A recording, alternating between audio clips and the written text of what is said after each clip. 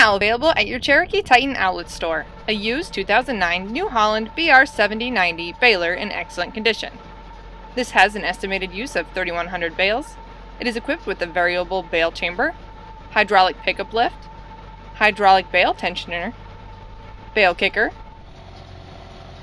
bale counter, electronic bale monitor, auto twine wrap control, 1000 PTO, 2200 pound max bale weight, and standard tires.